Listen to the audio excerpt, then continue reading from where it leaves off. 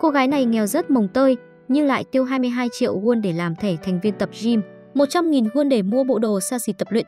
Vì để câu được một người đàn ông giàu có, cô không ngừng bỏ ra mồ hôi công sức. Cô tin rằng hai tháng sau cô có thể bước chân vào giới thượng lưu, nhưng điều bất ngờ lại xảy ra. Lễ Tân thông báo cho cô rằng tiền thẻ thành viên phòng tập tăng từ 22 triệu won lên 33 triệu won.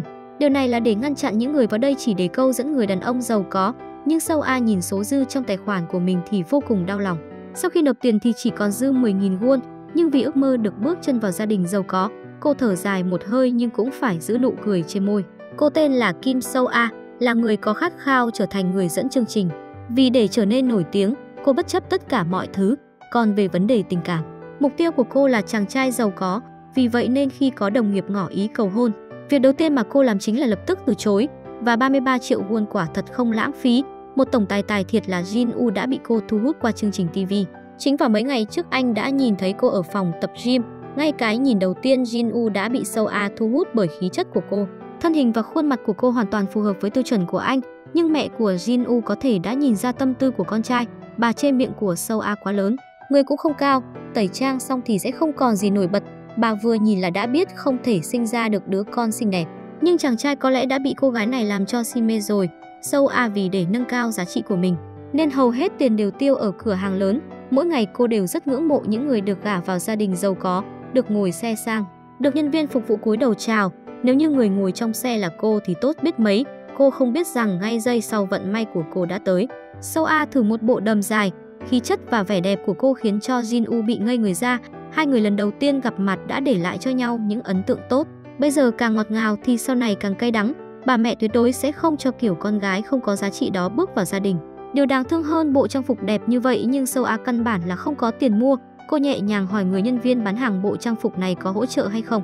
Trong chương trình tin tức ngày hôm nay cô sẽ mặc nó, nhưng nhân viên bán hàng ngại ngùng nói rằng chỉ hỗ trợ cho những diễn viên nổi tiếng và cô căn bản là chưa có tư cách đó. Và điều bối rối hơn chính là Sâu A vẫn còn kỳ hạn 12 tháng chưa tra của bộ đồ lần trước cô mua. Jin U đứng ở một góc không những chê cô nghe mà còn ngược lại cảm thấy rất hứng thú. Thậm chí lúc nhân viên tiễn Sâu A ra về, anh còn giao dịch với nhân viên bán hàng rằng có thể giả vờ tất cả trang phục đều được hỗ trợ. Tất cả mọi chi phí đều được anh chi trả. Anh càng ngày càng tò mò, rốt cuộc Sâu A là người như thế nào. Tại sao có thể mua được thẻ thành viên mấy triệu won mà lại không thể trả tiền cho một bộ đồ? Càng là cô gái đặc biệt thì càng hợp với khẩu vị của Jin U. Sâu A cứ thể mà tận hưởng việc mua đồ mà không cần xem giá tiền, mà không biết gia đình xảy ra một chuyện lớn. Em gái cô tên là Trung A bị bạn bè bắt nạt 2 năm nay. Toàn thân đầy vết thương, trên người không có chỗ nào là không bị bầm tím.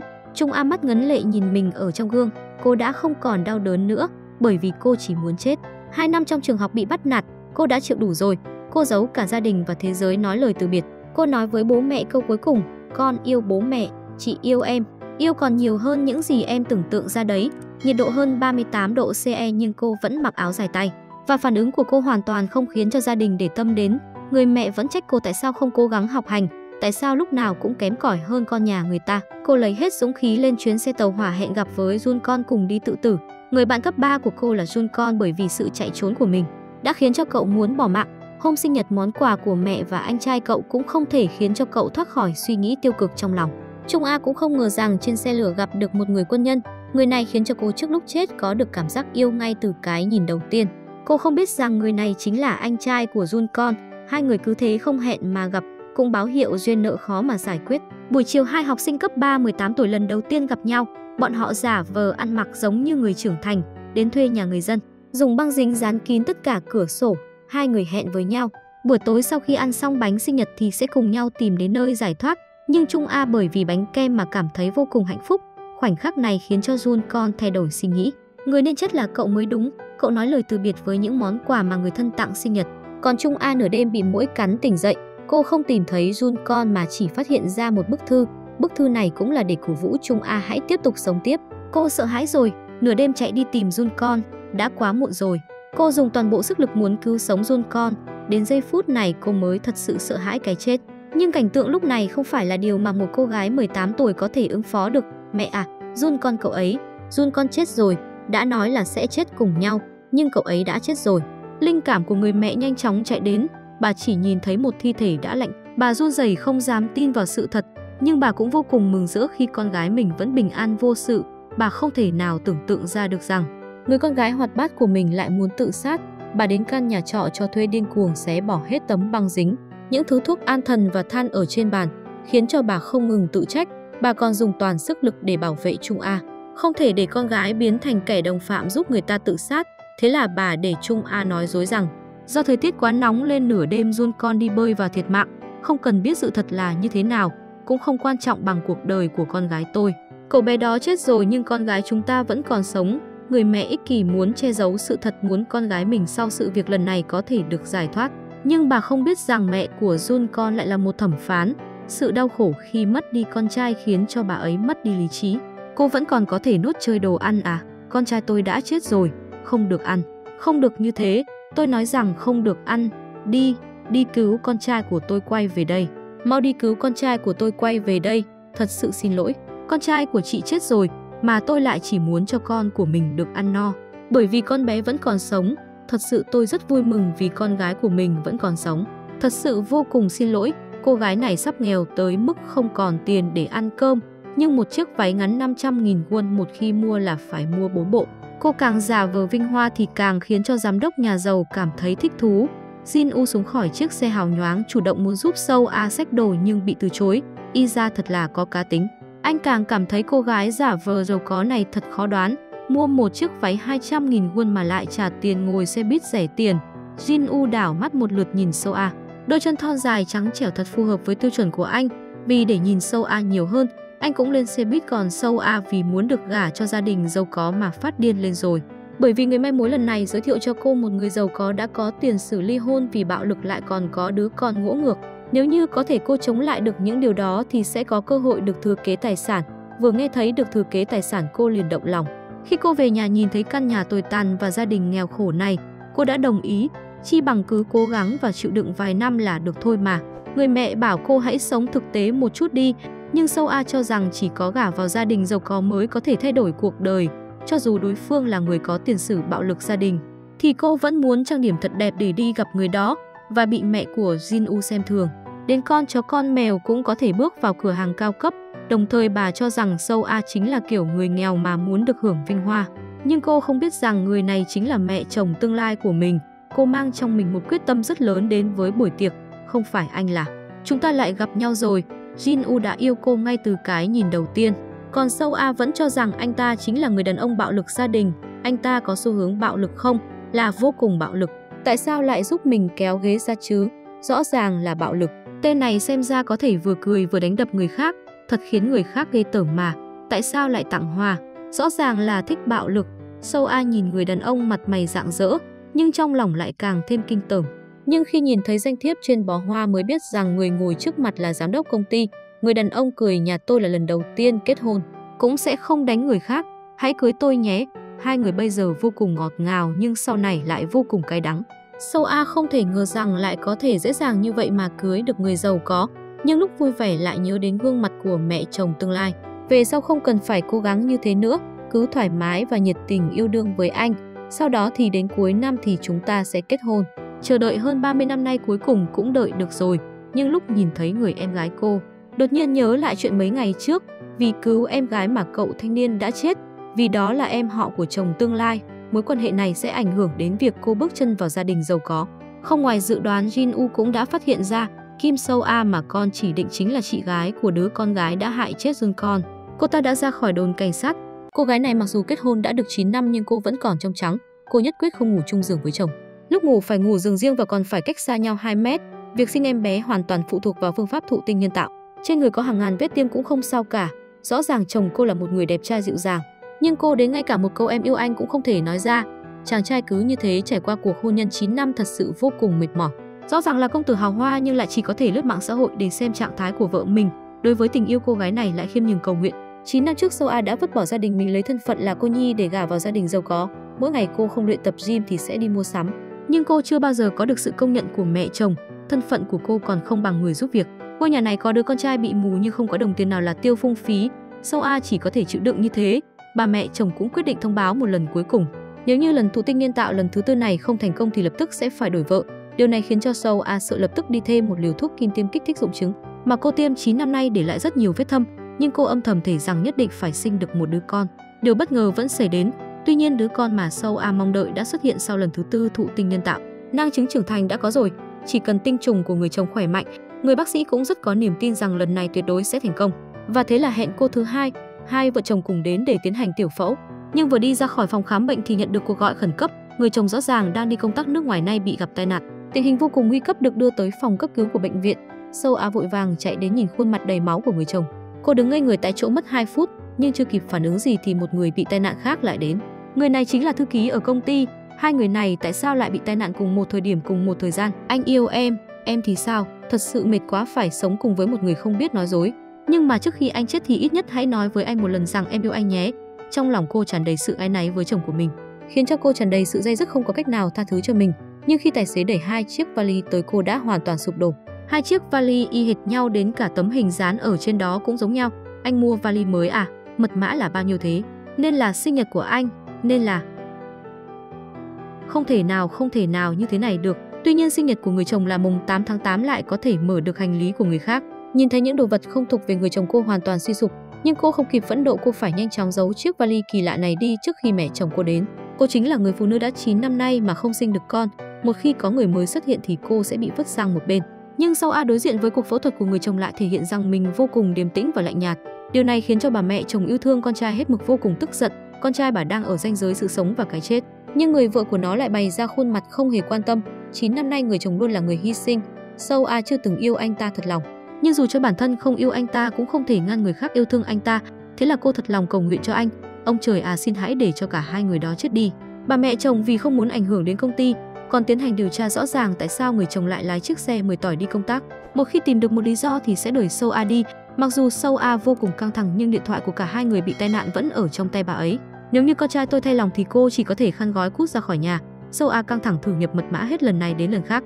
Đây là lần đầu tiên cô cảm nhận được sự đe dọa đáng sợ như vậy, cũng là lần đầu tiên cảm nhận sự bất lực khi đứng bên bờ vực.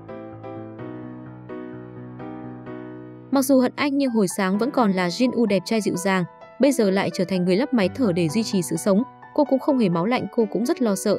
Sau A trầm trọng quỳ xuống thầm nhủ ước gì Jin U tỉnh dậy và nói cho cô hết tất cả sự việc, nhưng khi vừa quay đầu lại nhìn người bệnh nhân bị tai nạn cùng cô nhất thời vô cùng tức giận. Thứ thuộc về mình nếu không thích thì cô sẽ vứt bỏ tuyệt đối không cho phép người khác động vào, nhưng đột nhiên Sâu A lao ra ngoài như cơn gió. Cô đang làm cái quái gì vậy hả? Tất cả những gì hiện lên chỉ là nỗi tuyệt vọng vô tận. Không kịp nghĩ nhiều việc đầu tiên cần làm là phải xóa đi vĩnh viễn. Cô đến khóc cũng không khóc, đến một giọt nước mắt cũng không rơi, Bà mẹ chồng xinh đẹp này vô cùng đau xót. Mặc dù Jin U đang hôn mê trở thành người thực vật, nhưng cô chỉ oán trách rằng người kia thật kinh tởm. Sâu A không biết rằng 9 năm trước khi cô kết hôn, tất cả là nhờ Jin U vất vả cầu xin mẹ mình thì hai người mới có kết quả. Con bị Sâu A mê hoặc rồi, nhưng cô ta không hề yêu con mà là yêu tiền bạc của con. Trình tự thế nào cũng không quan trọng mẹ à, điều quan trọng với con chính là con là người đàn ông đầu tiên của Sâu A, là tình đầu và cũng là người đàn ông cuối cùng của cô ấy. Con là người đàn ông có một không hai trong cuộc đời của cô ấy. Cô ấy nói cô ấy muốn trở thành công chúa lọ lem, ước mơ này con muốn giúp cô ấy thực hiện. Cô gái này đã kết hôn 9 năm nay rồi nhưng vẫn là một cô gái trong trắng. Người chồng còn chưa được ngủ chung giường với cô thì đã trở thành người thực vật. Cô không hề rơi một giọt nước mắt nào, thậm chí còn ăn trộm đồ xa xỉ của người chồng. Cô vẫn còn đăng hình lên mạng xã hội thể hiện sự giàu có xa hoa của mình. Người mẹ chồng không thể nhìn được nữa, lại còn đi chụp hình cả đáng lẽ ra phải đi khoe một chút phòng bệnh này chứ. Sao không đi khoe người chồng biến thành người thực vật kia kìa? Ba mẹ chồng cũng biết rằng Sâu A chưa từng yêu con trai bà. Cô đi ra ngoài cầm chai nước ngọt của mẹ mình bán và bật khóc. Đây là tình cảm gia đình 9 năm bị đứt đoạn để đổi lại được gà vào gia đình giàu có rốt cuộc có đáng hay không? Bởi vì nhớ thương con người mẹ chỉ có thể xem bức ảnh mà con gái đang lên mạng xã hội. và nghĩ rằng vì hạnh phúc và bình an nên mỗi ngày con gái đều đăng những bức hình của mình. Và niềm an ủi với bà chính là việc con gái mình có thể có được hạnh phúc. Nào ngờ bà mẹ chồng bắt đầu tính toán đem hết tất cả tài sản của con trai chuyển nhượng. Nghĩ cùng đừng hòng nghĩ tới một đồng cũng sẽ không bao giờ để lại cho Sâu A. Sâu A biết rằng địa vị của mình đang gặp nguy hiểm. Một khi chứng minh không yêu thì sẽ bị đuổi ra khỏi nhà. Bà mẹ chồng cũng lạnh lùng thu lại hết tất cả thẻ tín dụng, cắt đứt mọi viện trợ kinh tế của Sâu A. Thế này thì không thể thoải mái sống được nữa. Cô nhìn Jin U đầy oán hận, đã trở thành người thực vật rồi mà vẫn khiến cô trở nên thế này. Cô quay đầu nghĩ lại, nếu như người đàn ông này không thể lợi dụng được nữa vậy thì phải dùng những món đồ đắt tiền để lấp đầy khoảng trống đó. Lấy được cái gì thì lấy. Cô lần lượt lấy đi tất cả những món đồ đắt tiền, vừa nhìn thấy chỗ đồng hồ xịn của chồng thì hai mắt sáng lên. Ba bốn chiếc là có thể mua được một căn nhà. Anh muốn cuộc đời của tôi bị thách thức tôi sẽ khiến cho anh phải hao tâm tổn sức. Cô lạnh lùng không quan tâm sống chết của chồng. Cô lén lút lại nhặt đôi bông tay vừa ném đi, tất cả những đồ đáng giá đều phải nắm giữ trong lòng bàn tay. Trước khi bản thân bị đuổi đi thì phải chuẩn bị đường lui để định dạng lại điện thoại của chồng để dẹp bỏ sự đe dọa. Sâu A lén lút đi vào phòng của mẹ chồng, nhân lúc mẹ chồng ngủ say, cô nhẹ nhàng nhấc gót chân thực hiện hành động, Nhưng vào lúc định dạng xong và đang định rời đi thì Jin U đang sống hay chết cô cũng đều không quan tâm vì vậy nên tôi mới không thích cô. Cô khiến tôi dùng mình, khiến tôi kinh tởm. Mẹ con sai rồi bởi vì sợ mẹ nghi ngờ nên cũng khiến cho con nghi ngờ. Con xin lỗi, người mẹ chồng đã sớm biết sâu A vì tiền nên mới gả vào gia đình này. Cô nên sớm biết trân trọng con trai tôi mới đúng. Nếu không có Jin U thì cô chẳng có cái gì cả. Bây giờ chỉ có cách đi đến bệnh viện để trốn tránh mới là con đường lui duy nhất của cô. Nhưng khi Sâu A vừa đến bệnh viện thì nhìn thấy người em gái đã đoạn tuyệt mối quan hệ từ lâu. Hóa ra người bị tai nạn cùng với chồng của cô lại chính là bạn của em gái, lâu rồi không gặp. Đã 9 năm rồi nhỉ? Cảm thấy thật ngại ngùng. Gặp lại nhau thật sự không khiến cho tôi vui vẻ. 9 năm trước bởi vì lần tự sát năm đó của Trung A mà người phải chết chính là em họ của Jin U. Và chỉ có đoạn tuyệt quan hệ mới có thể khiến cô được gả vào gia đình giàu có. Tại sao lại xuất hiện và giày vào tôi? Nếu như để cô của Jin U nhìn thấy thì sẽ như thế nào? Cô xua đuổi em gái của mình như đuổi bọ ngựa. Cô của Jin U tưởng rằng tôi là trẻ mồ côi. Nếu như cô ấy biết em gái tôi lại là người hại chết con trai của mình, tôi sẽ không còn gì cả. Cô gái này đã không còn tiền để tiếp tục sống, cô ấy sống là vì tiền. Ông chồng giàu có giờ đã trở thành người thực vật. Cô đã không còn tiền để khoe khoang nữa rồi. Thậm chí còn nghèo đến mức không thể ăn được canh xương bò mặc bộ đồ xa xỉ hơn 200.000 won. Nhưng lúc ngủ lại phải ngủ trên ghế dài ngoài hành lang nhưng cô không biết rằng lúc đó người chồng xảy ra chuyện ngoài ý muốn. Toàn thân lên cơn động kinh dường như đã đứng bên bờ vực cái chết. Vào lúc người chồng đang gặp nguy hiểm thì người vợ lại không có mặt ở bên cạnh chồng. Sau A vừa tỉnh dậy thì đã nhận ra thời gian quá muộn, cô vội vã chạy đến bệnh viện. Nhiệm vụ duy nhất của cô trong gia đình giàu có này chính là chăm sóc chồng. Cả đêm không ở cạnh chồng là tội lỗi lớn của cô. Nó suýt chết tim của nó suýt chút nữa ngừng đập. Sâu A chỉ có thể nói dối là cô đi phòng tắm hơi. Cái gì? Phòng tắm hơi. Thật là bản tính khó sửa mà. Ai mà không biết có xuất thân từ cống rãnh chứ. Hóa ra thân phận của Sâu A chỉ giống như người hộ lý. Vì vậy Sâu A lo lắng rằng người chồng một ngày nào đó sẽ chết. Thế là cô lén lút bán đi chiếc túi 800.000 won chỉ với giá 280.000 won. Cô yêu tiền nên trên tay phải có tiền, không cần chuyển tiền vào thẻ mà lấy tiền mặt. Cô rất thực tế đến ngay cả chiếc đồng hồ chồng tặng cho mình cũng định bán đi. Nhưng vừa quay đầu thì gặp được người mà cô luôn mong nhớ. Người mẹ đã 9 năm không gặp bởi vì bị bệnh nên mới tới bệnh viện. Mặc dù con gái đeo kính dâm nhưng bà nhìn một cái vẫn có thể nhận ra. Dâu à, đừng lại gần con nếu người khác nhìn thấy và phát hiện ra quan hệ mẹ con của chúng ta vậy phải làm sao? Con đã bảo mẹ đừng có tỏ ra là mẹ của con. Sâu A lạnh lùng thể hiện rằng mình không cần mẹ nhưng mà mẹ vẫn muốn nhìn khuôn mặt của con gái. 9 năm rồi người mẹ cũng chỉ có ước nguyện đó, cầu xin con đó được không? Con của mẹ rất xinh đẹp, nhưng Sâu A không dám nói ra những điều mà mình gặp phải. Người chồng giờ đã thành người thực vật bà mẹ chồng cũng căm ghét cô vô cùng. Cô chỉ có thể nhanh chóng gọi taxi đưa mẹ về nhà. Mẹ đi đây đừng bị bệnh đừng làm việc quá sức đừng ép bản thân. Hai mẹ con không nói nên lời đến ôm cũng không dám ôm. Mẹ à, cô không đành lòng để mẹ rời đi như vậy nhưng ngoài tiền ra thì cô không có gì để đưa cho mẹ. Con gái mà ngày đêm mẹ mong nhớ, người mẹ không quan tâm đã đi theo con gái đến bệnh viện và cảnh tượng trước mặt thật sự khiến cho bà sụp đổ. Người nằm ở đó dường như chính là chồng của con gái và con gái ánh mắt không thần sắc đang chăm sóc anh ta thậm chí bà còn nghe được cả tiếng quát mắng của bà mẹ chồng. Hóa ra 9 năm nay con gái sống cực khổ như vậy, là một người mẹ bà không thể chịu đựng được thêm nữa. Có thể không cần giàu có nhưng phải thật hạnh phúc chứ. Buổi tối sâu A mệt mỏi định trở về nhà. Lúc này cô biết được cô gái cùng bị tai nạn với chồng cô. Gia đình họ mở tiệm ăn vậy mà cô ta vẫn đến công ty làm việc. Lẽ nào là để tiện cho việc hẹn hò sao điều này thật sự khiến cô tức giận. Nhưng vừa về đến nhà người giúp việc đang dọn dẹp đồ đạc của cô. Hóa ra bà mẹ chồng phát hiện ra dã tâm của cô tất cả những đồ đạc giá trị ở trong phòng đều biến mất hết rồi. Bản thân bà vô cùng hối hận vì đã không nhận ra điều này sớm. Ăn trộm tất cả đồ trang sức và đồng hồ tất cả là phí cút đi của cô. Mẹ nói phí cút đi là sao à? Bởi vì trước khi kết hôn Sâu A đã ký kết một bản thỏa thuận hôn nhân. Nếu không có con và tình cảm vợ chồng không tốt thì không còn lý do để duy trì cuộc hôn nhân này nữa. Cũng không có lý do gì để được hưởng tài sản của con trai bà. Ly hôn đi. Dạ, hãy ngay lập tức kết thúc cuộc hôn nhân không có tình yêu này đi. Con biết là con sai rồi mẹ à. Con sẽ đem hết trang sức và đồng hồ trả lại về chỗ cũ. Không cần đâu, chúng ta nên dứt khoát một chút. Lặng lẽ ly hôn là được rồi. Không được, chỉ vì để gà vào gia đình này mà cô đã vứt bỏ gia đình mình. Bố mẹ của cô, em gái của cô, cô đều vứt bỏ như thứ rác rưởi Người làm như vậy chính là cô vì vậy tôi mới không thích cô. Người như cô ở bên cạnh con trai tôi khiến tôi dùng mình tôi sợ hãi. 9 năm nay ngày nào cũng như vậy, cô ấy sống chết giữ lấy thân mình. Kết hôn 9 năm nay nhưng cô vẫn là cô gái trong trắng. Cô không muốn ngủ chung giường với chồng, cũng không muốn có con theo cách tự nhiên. Tuy nhiên bà mẹ chồng không thể chịu đựng được sự kỳ quái của cô một tờ giấy ly hôn đưa cho cô và muốn cô cút đi. Nhưng cô vì tiền nên mới đồng ý gả vào gia đình này. Sau A chỉ có thể tàn nhẫn đối diện với người chồng là người thực vật cô lay người anh ta một cách phẫn nộ. Tôi, tôi thật sự rất cần anh. Bà mẹ chồng cho rằng con trai mình đã thay lòng dù cho con trai có đang hôn mê thì cũng phải tìm cách khiến cho hai người ly hôn. Sâu A căn bản là không dám nhìn dù cho có chết thì cũng muốn ở lại ngôi nhà này. Mặc dù bản không yêu chồng mình nhưng trong đầu lại thường hiện lên hình ảnh chồng thân thiết với người khác. Bản thân cố gắng 9 năm mới có thể lên được vị trí phu nhân giám đốc. Cô phải thể hiện tình cảm vợ chồng ra bên ngoài thì mới giữ được vị trí. Giữ nụ cười. Rõ ràng 9 năm nay Jin U vô cùng yêu thương cô. Vậy thì tại sao nói thay đổi là liền thay đổi? Anh ấy thường vì khiến cho cô cười mà tặng cô cả mấy chục món đồ trang sức đắt tiền. Cho dù là kim cương triệu won cũng không tiếc. Chỉ cần sâu à thích dù là sao trên trời anh cũng có thể hái xuống cho cô. Mặc dù tôi không yêu anh nhưng anh tuyệt đối không được lừa gạt tôi. Cô vốn nghĩ rằng đối phó với bà mẹ chồng là xong, nhưng người cùng tai nạn với chồng cô là Hy Giang đột nhiên tỉnh lại. Câu đầu tiên sau khi Hy Giang tỉnh lại chính là hỏi về Jin U. Chúc mừng cô quay trở về với thế giới đau khổ này. Người phụ nữ đó sao có thể dám xuất hiện trước mặt mình chứ? Kim Sâu A anh yêu em yêu hơn cả những gì mà em có thể tưởng tượng được ra. Cùng lúc đó cô vô cùng bất lực, nếu như ngay từ lúc đầu thứ cô cần không phải là tiền mà là con trai tôi thì tốt biết mấy. Nhưng từ sau khi Hy Giang tỉnh dậy, mỗi ngày đều ngồi phòng bệnh mong người trong lòng mình tỉnh dậy. Cô ta hoàn toàn không hề quan tâm đến sự tồn tại của Soa. A. Và khoảng cách cửa hai người cũng ngày càng xa cách. 9 năm trước người em gái cô gặp phải bạo lực học đường vì không chịu được áp lực nên đã suýt chút nữa tự tử. Và người bạn học bắt nạt em gái cô lại chính là Hy Giang. Từng việc từng việc một càng khiến cho mối thù của hai người trở nên khó mà giải quyết. Bà mẹ chồng cũng muốn thông qua sự tồn tại của Hy Giang để có thể đổi Sâu A đi.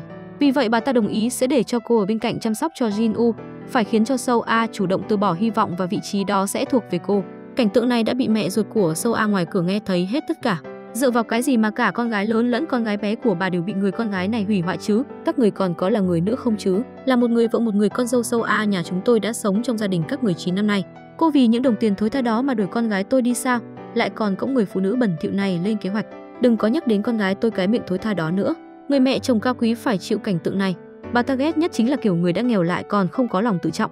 Nếu bà có bản lĩnh thì hãy dứt khoát đưa con gái của bà đi như cách mà bà hất nước vào mặt tôi ấy ấy. Về nhà với mẹ không cần nói gì cả. Đừng như thế nữa. Mặc dù không tình nguyện rời khỏi ngôi nhà giàu có đó nhưng sự tình xảy ra thế này sâu A cũng không còn đường lui nữa rồi. Cô không còn sự lựa chọn nào khác. Nhưng hy vọng trước khi Jin U tỉnh dậy thì có thể ở bên cạnh giường bệnh chăm sóc anh, Tất cả những gì trải qua cùng với anh trong quá khứ chính là những ngày tháng bình thường nhất nhạt nhẽo nhất. Cô gái này thực sự rất lợi hại, tàn nhẫn ra tay. Người chồng là người thực vật cũng bị cô làm cho tỉnh dậy. Sau khi hôn mê một năm người vợ không còn bên cạnh nữa. Người đầu tiên anh nhìn thấy lại là He Giang. Bốn phía xung quanh tại sao không tìm thấy sâu a đâu. Đến năm 2019, Jin U đã hôn mê được một năm. Câu đầu tiên mà anh nói sau khi tỉnh dậy là sâu ở đâu. Tại sao lại không thấy cô ấy đâu? Anh không biết rằng trong một năm đã xảy ra những chuyện gì. Sâu A trước giờ coi tiền như là sinh mệnh này, vì để sống tích cực hơn cô đảm nhận dẫn chương trình radio lúc 4 giờ sáng. Cô không còn mặc những bộ đồ xa xỉ đắt tiền nữa mà trên người mặc toàn những bộ quần áo hết sức bình thường. Bộ dạng kiêu ngạo trước kia này cũng không còn nữa, mà thay vào đó là khuôn mặt dễ thương dễ gần. Cũng vì thế mà anh trai của He Giang là Tê Giang này sinh tình cảm. Kết hôn 9 năm, ly hôn đã được một năm. Cô lại trở về căn nhà cũ trước kia nhưng cảm giác thoải mái và hạnh phúc hơn ngàn lần so với ngôi nhà giàu có. Mặc dù người chồng bị biến thành người thực vật nên mới ly hôn, nhưng một năm nay cô đều cố định mỗi tuần thứ ba của tháng sẽ đi thăm anh ta, không vì bất cứ thứ gì chỉ hy vọng anh ta mau chóng tỉnh lại để nói lời từ biệt. Nhưng lúc Jun U tỉnh dậy và hỏi tin tức của Soa, người mẹ nói rằng Soa cho rằng việc chăm sóc chồng khiến cô ta quá mệt mỏi nên đã về nhà mẹ ruột ở rồi. Kiểu người như cô ta làm sao có thể vì người chồng là người thực vật mà ở bên cạnh giường bệnh một năm trời chứ? Cô ta sẽ thỉnh thoảng xuất hiện vì sợ bị người đời xoay mói mà thôi. Vậy là cô ấy vì mệt nên mới rời xa con sao? Gọi điện cho cô ấy đi ạ. À. Hôn nhân 9 năm anh đã yêu hết lòng nên anh muốn ngay lập tức gặp được Sâu A. Nhưng giữa đêm nên anh không thể gọi được cho Sâu A. Điều này càng tạo cái cơ cho bà mẹ chồng. Cùng lúc đó, Jin U không biết cả hai đã ly hôn, cô còn đang có một cuộc sống vô cùng hạnh phúc. Ở bên cạnh cô có một người đàn ông ngọt ngào ấm áp. Cô thật sự đã thay đổi rất nhiều. Cô đi vào cửa tiệm bên đường để mua một món đồ chơi nhưng lúc này hai chữ Jin U lại xuất hiện lần nữa. Cái tên vừa xa lạ vừa thân thuộc khiến cho cô không biết phải làm sao. Cô giữ người ở chỗ đó. Là anh, em đang ở đâu? Thật sự là anh sao? Hai người sau một năm lần nữa gặp lại nhau.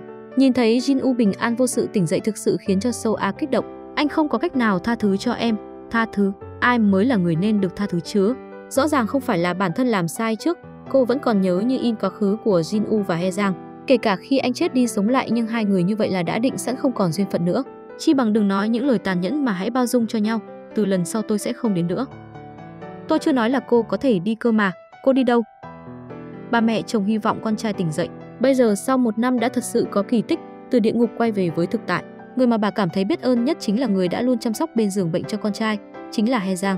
Bà ta cũng bày tỏ ý định sau một năm nữa sẽ cho cô ta một địa vị. Bố mẹ ở nhà của Sâu A vô cùng thương xót con gái. Dù cho có số tiền 100 triệu won phí bồi thường cũng không thèm. Người đó đã tỉnh lại rồi. Tốt quá rồi, thật sự quá tốt. Cuối cùng con cũng có thể chút bỏ được hòn đá lớn ở trong lòng rồi. Sâu A khẳng định bản thân sẽ không bao giờ đi đến bệnh viện đó để thăm anh ta nữa. Cô cũng phải bắt đầu theo đuổi cuộc sống của riêng mình. Lỗi lầm tương tự như vậy, đừng phạm phải lần thứ hai nữa. Sẽ không bao giờ có chuyện đó đâu ạ. À. Cô ấy sẽ đón nhận tình cảm của người khác thêm lần nữa không? Người đàn ông ấm áp này lúc nào cũng sẽ xuất hiện lúc 4 giờ sáng chỉ để đưa đón Sâu A tan làm về nhà. Sự giàu có và hạnh phúc bạn cảm thấy cái nào quan trọng hơn? Nhưng trong lòng của Sâu A dường như vẫn còn vương vấn chồng cũ. Tắt máy điện thoại trốn tránh cũng không phải là cách. Thế là cô lấy dũng khí đến phòng bệnh. Tuy nhiên vẻ mặt của He Giang thể hiện rõ sự công kích. Mặc dù đã ly hôn, nhưng nhìn thấy sự thân mật của họ cũng khiến cho cô cảm thấy khó xử. Chúng ta đã ly hôn rồi. Ly hôn? Tôi đã sớm chia tay với anh rồi. Bây giờ chỉ cần anh chia tay với tôi thôi là được. Sinu trở thành người thực vật tỉnh lại một năm hôn mê, nhưng anh không có cách nào để tin vào việc bản thân đã ly hôn. Mặc dù Jowa giải thích rằng đó là yêu cầu cưỡng ép của mẹ chồng nhưng Jin U vô cùng tức giận nghe không lột tai. Lẽ nào cô cho rằng tôi sẽ tin cô sao? Cô muốn thoát khỏi đây sớm để đi tìm người đàn ông giàu có khác sao? Anh hiểu nhầm rằng Sâu A đã lấy tiền bồi thường rất lớn, nhưng ngày hôm nay đến chỉ để nói lời từ biệt cuối cùng. Sâu A không muốn nói nhiều nhưng đối với việc của anh và thư ký cô vẫn luôn để ý trong lòng. Vào lúc định rời khỏi phòng bệnh He Giang lại tỏ ra mình là nữ chủ nhân của nhà này. Cô ra lệnh cho Sâu A vĩnh viễn biến mất và không quay trở lại đây nữa. Cô mau đi vào an ủi anh ta đi. Đây chắc chắn là điều mà cô mong muốn sao? Cô không muốn tiếp tục nói chuyện với những người cặn bã như thế, nhưng mỗi lần cô nghĩ đến người chồng cũ của mình và thư ký trong lòng cô thật sự không cam tâm để cô ta thắng như thế. Nếu như con xảy ra chuyện gì thì mẹ sẽ chết số tài sản kia rồi sẽ để lại cho ai đây? Vậy thì chỉ có thể để lại cho cô ấy. Cô ta vì tiền nên mới kết hôn mẹ làm sao có thể chịu được điều này chứ? Nhưng cô ấy là người mà con yêu nhất mẹ à? Mặc dù anh đã yêu cô 9 năm rồi, những sự việc đã xảy ra nhưng anh vẫn không thể nghe lọt tai những lời người mẹ nói về Soa. Anh muốn dùng cách thức của mình để có được tình yêu một lần nữa. Mỗi ngày thức dậy đều nghe chương trình lúc 4 giờ sáng của cô. Anh muốn nghe giọng nói và câu chuyện của Sâu A và giống như 9 năm trước anh đã từng si mê và kiên trì theo đuổi cô. Anh cho người đi tặng cô các món đồ xa xỉ và hoa tươi còn tìm phòng riêng ở ngoài ngoại ô cho cô. Cả gia đình dù con gái đã kết hôn 9 năm nay cũng chưa được nhìn mặt con rể. Cả gia đình đều không biết đến mặt xấu của Jin U vào một năm trước, nhưng mẹ và Sâu A đều bất an trong lòng. Thêm một lần nữa, gọi điện cho anh thêm một lần nữa đi. Vợ à em nhận được chưa? Anh nghĩ rằng vẫn còn giống như 9 năm trước khi kết hôn à, chỉ cần có kim cương thì có thể lấy được lòng của Sâu à. Nhưng sau khi trải qua cuộc hôn nhân đổ vỡ cô dường như không còn coi tiền là tất cả nữa. Từ đầu đến cuối anh vẫn không có cách nào lấy được trái tim của cô. Thật sự không thể bắt đầu lại từ đầu sao và người mẹ cũng không muốn con gái dẫm vào vết xe đổ đó nữa. Bà chủ động tìm người con rể 9 năm của mình, bà cầu xin anh đừng có đến làm phiền con gái của bà nữa. Lẽ nào cậu nghĩ rằng lần cậu và cô gái kia xảy ra tai nạn điều đó chưa đủ lớn sao? Tuyệt đối đừng bao giờ liên lạc với con gái tôi nữa, cậu biết chưa? Mẹ vợ à? Con trai à? Bà mẹ chồng vừa chạy đến đã hiểu lầm, Lẽ nào là bà ta đến để báo thù con trai bà sao? Đủ rồi mẹ làm ơn đừng như thế nữa, làm ơn mau xin lỗi đi. Mẹ hãy xin lỗi bà ấy đi, mẹ có làm gì đâu.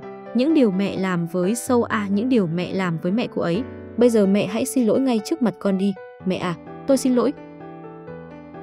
Tôi đã làm khó cho cô rồi. Tôi xin lỗi. Anh chàng này vô cùng ngu ngốc. Kết hôn 9 năm mà người vợ vẫn không chịu ngủ chung giường với anh. Nhưng vừa ly hôn nào là tặng túi sách. Thấy ngôi nhà mà vợ cô đang ở quá cũ nát nên anh định tặng cô cả một căn nhà. Anh lo cô phải làm việc vất vả liền mua luôn đài truyền hình nơi cô làm việc. Thực ra người vợ cũ không muốn ngủ chung giường với chồng còn anh chồng thì vẫn ngóng trông từng ngày cô quay trở về. Chỉ cần khiến Sâu A quay trở lại gia đình giàu có này, anh sẽ không do dự làm hết tất cả mọi việc. Cái gì là tập đoàn công ty, cái gì là lợi ích, cái gì cũng không thể nào so sánh với sự quan trọng của Sâu A. Không những như thế anh còn mạnh mẽ cảnh báo người mẹ. Anh cũng có thể rời đi nên đừng bao giờ đuổi Sâu A đi lần nữa. Nhưng một chàng trai nhà giàu mặt mày sáng láng như vậy lại vô cùng si tình. Anh sẵn sàng không thèm ngồi chiếc xe đắt tiền mà lén lút ngồi vào xe taxi. Anh có thể không cần lộ mặt nhưng mỗi ngày đều muốn nhìn gương mặt người con gái mình yêu thương. Cứ như vậy anh lặng lẽ ngắm nhìn người vợ cũ đã yêu 10 năm, nhưng gương mặt xinh đẹp này cũng khiến cho anh đau lòng. Nhìn thấy Sâu À cầm hai cốc cà phê anh bỗng chốc không vui vẻ nữa. Anh đi theo cô đến công viên nhìn hai người họ thân thiết như vậy khiến cho anh có chút đen. Từ đầu đến cuối anh không có cách nào chấp nhận được sự là đã ly hôn với Soa. Hai người họ như cặp tình nhân vừa nói vừa cười anh thật sự không thể nhịn được nữa. Vợ à, lẽ nào anh bám theo tôi sao? Jin U chằm chằm nhìn người tình địch phía trước. Kể cả là đã ly hôn thì đây cũng là vợ của tôi. Bất kể là ai cũng không được tiếp cận cô ấy. Sâu am mà anh biết đâu mất rồi. Vậy thì đi tìm He Giang mà anh thân thuộc ấy. Lẽ nào anh không biết nên giải thích chuyện đó trước sao? Cùng lúc đó He Giang sau một năm bên cạnh anh nay đã thành công bước vào gia đình giàu có này rồi. Bà mẹ chồng nhìn cô ta hiểu chuyện như vậy liền thốt lên rằng thật là khác nhau mà. Bà ta có ý định sẽ để He Giang thay thế vị trí của Sâu A, nhưng trái tim của Jin U từ đầu đến cuối chỉ có một mình Sâu A. Mặc dù bản thân anh là người làm sai trước nhưng anh cũng tuyệt đối không thể nhịn được khi thấy cảnh tượng tình cảm này của Sâu A. He Giang cũng dường như đã tự coi mình là chủ nhân của ngôi nhà này, có thể tự do đi lại trong phòng riêng của Jin U. Anh không thể nào quay đầu nhìn lại người đang ở bên cạnh anh là em sao? Người luôn ở bên cạnh anh là em không cần biết là bây giờ hay là một năm trước. Xin lỗi, lỗi lầm một năm trước là do quá mệt mỏi và bây giờ đã tỉnh táo rồi nên đương nhiên phải từ chối phạm phải sai lầm như vậy. Nhưng He Giang làm sao có thể can tâm chứ? Điều trùng hợp là Jin U lúc này mới biết tình địch của anh chính là anh trai của He Giang. Mối tình tay bốn ngại ngùng này cũng càng thêm thú vị. Anh không thể nhịn được liền hỏi He Giang về tình hình của anh trai cô, 34 tuổi rồi mà vẫn có thể đẹp trai như vậy. Anh cũng biết rằng Sâu A và anh ta cũng mới quen biết nhau sau vụ tai nạn một năm trước. Những cơn ghen tuông không có lời giải cứu như thế xuất hiện, anh đem theo sự khiêu khích đến nhà hàng của tình địch. Lần này đến chính là để tuyên bố chủ quyền của mình, Kim Sâu A là vợ của tôi. Bây giờ cũng thế, mặc dù đã ly hôn nhưng anh không có cách nào chấp nhận điều đó. Phòng ngủ vẫn là hai chiếc giường đơn. Anh mỗi ngày đều mở chương trình mà Sâu A dẫn trong vô thức, chỉ cần cứ thế lắng nghe giọng nói của cô thôi cũng rất hạnh phúc rồi. Nếu như còn chần chừ không hành động thì sẽ không còn cơ hội nào để quay về nữa. Bây giờ là 4 giờ sáng nhưng trước cửa đài truyền hình đột nhiên xuất hiện hai chiếc xe ô tô, một chiếc là của người đàn ông hy sinh âm thầm vì yêu và chiếc còn lại là của người chồng cũ thiếu gia nhà giàu của Soa. Anh thật sự không có cách nào chịu nổi việc bên cạnh em có người đàn ông khác. Anh không thể nào chấp nhận được chuyện này cho anh cơ hội anh muốn chúng ta quay lại như ngày xưa. Hãy tin anh cho anh thêm một cơ hội. Sâu A. À, sâu A sẽ phải lựa chọn như thế nào đây? Nên quay về thế giới giàu có mà cô từng mơ ước hay lựa chọn những ngày tháng yên bình?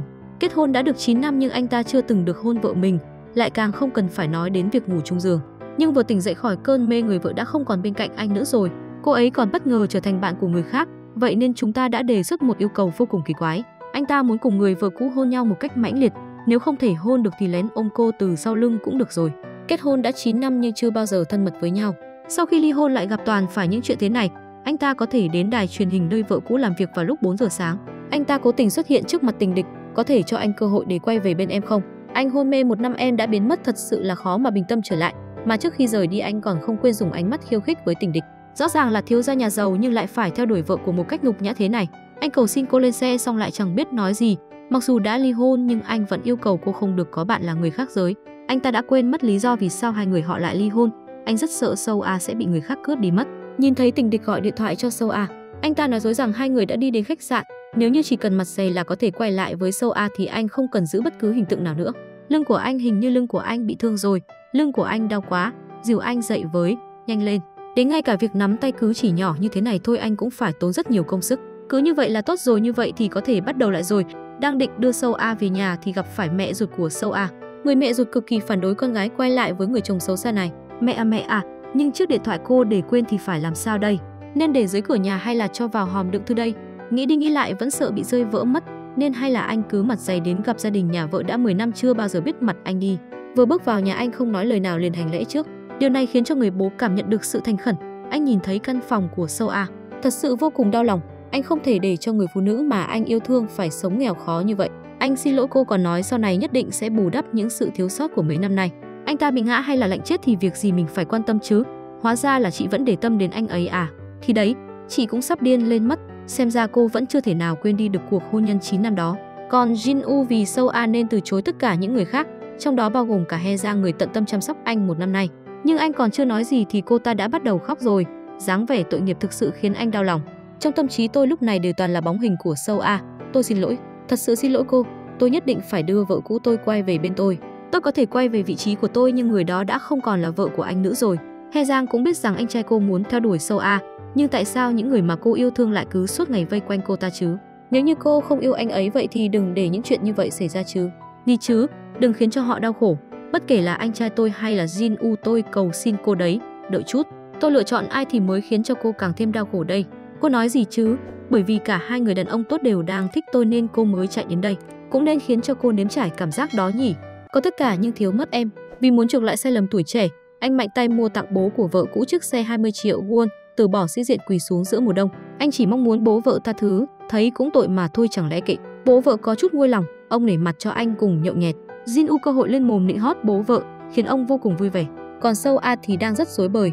Cô hồi tưởng lại lời dằn vặt hối hận của người chồng cũ, đồng thời nhớ đến sự ái mộ với Tê Giang, nên chọn ai hay là chọn cả hai. Bây giờ cô mới hiểu, yêu một lúc hai người khó như thế nào. Ở nhà Jin U đang xe bé tẻ lè nhè vô cùng phởn. Anh quỳ lạy bố vợ mấy cái, cũng cúi đầu không quên phần em gái. Đợi đến khi hai người say sắp mờ lờ, người mẹ đi rừng ra ganh cơ hơi muộn, thấy thằng rể hồn nhiên như cô tiên bỗng đâu xuất hiện, bà bực như con mực tạt cho anh ta một gáo nước. Tôi không quan tâm, tối nay quyết ở lại đây la liếm. Mẹ vợ muốn chia hai, nhưng mặt con đã chai, vẫn quyết phải quay lại với Sâu A. Vợ à, I love you chiều chiều. Mẹ vợ lúc này cũng bó tay.com. Khi Sâu A về đến nhà nhìn thấy trước cửa có chiếc xe quen thuộc, chỗ này chỉ dành cho cô gái dã man con ngan. Cố chấp thật đấy, vì muốn có được cô mà giám đốc phải cố chấp thì quá xứng đáng. Hô hồn con trồn, để anh ấy ngủ đi. Anh ấy mới nhậu với bố, thấy Jin U cao thủ không bằng tranh thủ như vậy, cô rất bất ngờ kiểm tra xem mình có rung động không. Chạm khẽ tay anh một chút thôi, mai xa rồi, không hề rung động, trái tim không có bất cứ cảm giác nào. 9 năm vợ chồng cùng nhau chung sống nhưng không có rung động. Buổi tối Jin U nhìn vợ cũ đã ngủ xe con gà quay, anh khép nép nằm ép bên sâu A, hữu duyên thiên lý năng tương ngộ, vô duyên đối diện bất tương phùng, thế là À à à, cái gì thế hả? Anh điên rồi à? Vợ à? Sao tim anh loạn hả? Cùng ngủ chung giường à? Làm anh thấy phê pha.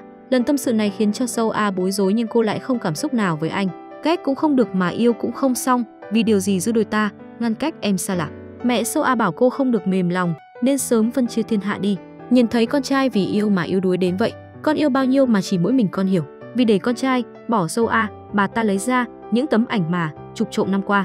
Nhìn tấm hình mà, làm anh tức quá, vợ sâu A, lừa đối mình à, tuy anh sai mà, khó chấp nhận quá. Sâu A quyết tâm phân chia rõ ràng với anh ta. Chiếc ô tô hơn 20 triệu won cô cũng đem tra Một năm rồi khỏi gia tộc giàu có làm cô đổi thay đi rất nhiều. Cô vô tâm chán nản người chồng cũ nhưng lại vô cùng thanh thản ngồi muối kim chi với Tê Giang. dáng vẻ ngượng ngùng nai tơ ngơ ngác như một nữ sinh mới yêu. Hành động thân mật khiến cho cô dụng chứng mạnh dạn tỏ tình. Trăng lên đỉnh núi Trăng Tà. What the hell? Anh thích muối dưa cả hay là yêu em? Kim Sâu A anh vẫn không từ bỏ. Hãy đợi đấy, to be continue. Vị giám đốc này không muốn người vợ cũng phải mặc những bộ đồ cũ nát, nên đã lén lút mang đến cho cô rất nhiều bộ đồ xa xỉ đắt tiền. Dù có chết tôi vẫn không mặc đồ anh tặng, buông tôi ra, chú Minh à, đồng ý mặc quần áo anh tặng thì anh sẽ buông tay. Thôi mặc những bộ đồ cũ nát đó đi, sau khi ly dị anh vẫn không buông thả được Sâu A. Anh bất thình lình con cá kình biết sự việc một năm trước, Sâu A bị mẹ chồng bắt ép ly hôn. Vì để bảo vệ gia đình mình mà cô đã đồng ý, nhưng cô không nhận 100 triệu tiền phí ly hôn. Lớn là phải có lông nách, sống là phải có tư cách. Huống hồ là người chồng của cô còn đang nằm trên giường bệnh. Tình cảm của anh làm em thấy gò bó. Anh xin lỗi em, hãy tha thứ cho anh lần này, đừng rời xa anh. Em nói đi em rất yêu anh. Sâu A khóc, anh liền nói rằng cho anh thêm một cơ hội, tha thứ cho anh em nhé. Sâu A từ chối anh, mẹ anh cũng ngăn cản. Nhưng cuộc đời phải cướp lấy mà thương, rằng lấy mà yêu. Có không giữ mất đừng tìm, dù đau sở câu nhưng anh vẫn cố phi ra ngoài tìm Sâu A. Nhưng Sâu A vẫn cứ lẩn tránh việc này mãi. Âm hai năm không nói cho nhau nghe thì giờ xa rồi giải thích chi. Vì vậy mà kiên nhẫn cũng mất dần, nhưng chỉ cần thoải mái thôi, thế này là đã đủ rồi. Lúc cô chọn anh trở thành người đàn ông của đời mình, anh đã bắt đầu yêu cô. Vì vụ tai nạn xe anh mới thật sự biết rằng bản thân yêu cô đến mức nào. Vì vậy nên dù có bất cứ chuyện gì xảy ra thì anh cũng phải theo đuổi cô lại một lần nữa. Anh một lần nữa nhắc nhở người mẹ đừng bao giờ động vào cô ấy. Lần này anh quyết tâm triển khai theo đuổi cô lần nữa. Thấy Sâu A đang làm công việc dẫn chương trình, anh có thể mua cả đài truyền hình. Thấy bộ quần áo rẻ tiền của cô, anh mua gửi cô cả đống quần áo. Em là Kim Sâu A sao có thể dùng thứ này chứ? Anh đã hẹn những nhà tạo mẫu hợp tác và chuyên gia trang điểm rồi. Cô giận quá vã vào đầu anh một phát, nhưng dù có bị đánh thì anh cũng cảm thấy hạnh phúc. Cô ấy bực như con cá mực chứng tỏ còn quan tâm tới anh. Khi Sâu A làm việc xong bắt xe taxi, anh liền lén lút lấp ở ghế trước ú òa làm cô hú hồn con trồn. Chỉ cần có thể ở bên cạnh Sâu A, anh có thể bất chấp tất cả. Còn Tê Giang thì anh đang do dự, một bên là em gái mình một bên là Sâu A. Anh đau đớn và đề xuất với Sâu A chia tay nhau một khoảng thời gian. Anh không muốn mắc kẹt ở giữa hai người. Muốn thì người ta tìm cách, còn không muốn thì tìm lý do. Em thích anh, em thật sự rất thích anh. Đường đường là chủ tịch nhưng vì theo đuổi vợ mà phải vất vả thế này. Dưới cái lạnh 10 độ C vì để tránh việc sâu A bị ngã, anh rắc dọc đường đi của cô bột trống trơn.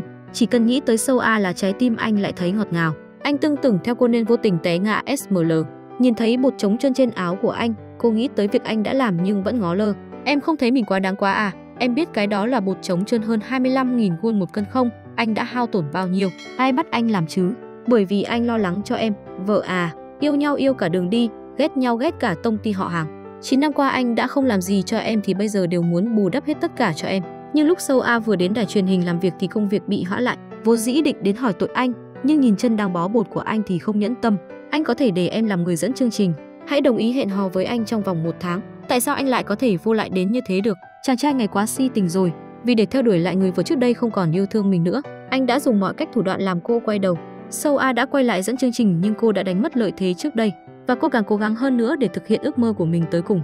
Người nhà thì tự hào với cô, còn người yêu thì cổ vũ cho cô. Nhìn thấy tình cảm và sự nghiệp của cô đều tiến triển tốt đẹp, trong lòng Jin U không chịu được mà có những ý nghĩ xấu xa. Anh kêu cấp dưới tăng đầu tư vào chương trình trực tiếp của Sâu A, nhưng với điều kiện là không cho Sâu A tiếp tục dẫn chương trình.